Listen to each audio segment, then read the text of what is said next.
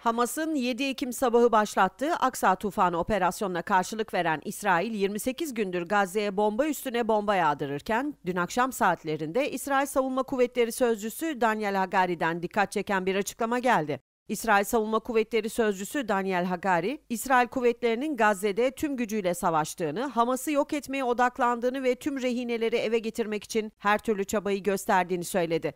Açıklamada İsrail askerlerinin Gazze şeridinin kuşatmasını tamamladığı belirtildi.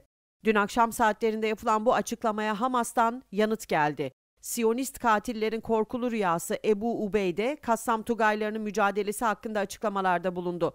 İşgal ordusunun kayıpları açıklanandan çok daha fazla diyen Ebu Ubeyde, Netanyahu kendi halkını kandırıyor ifadesini kullandı. Kassam Tugaylarının bugünkü başarısı hakkında bilgilendirme yapan Ebu Ubeyde, mücahitlerimiz sadece bugün 6 tankı ve askerleri taşıyan iki zırhlı aracı havaya uçurdu dedi. Ebu Ubeyde sözlerinin devamında katil İsrail ordusuna meydan okudu. Övündüğünüz zırhlı araçlarınız daha Gazze'ye ilk adımınızda imha edildi. Daha fazla askeriniz siyah torbalarla evlerine dönecek. Binlerce insanımızın şehadetinden duyduğumuz acı cesaretimizi ve şiddetimizi artıracaktır. ومن خلفهم سدا فاغشيناهم فهم لا يبصرون.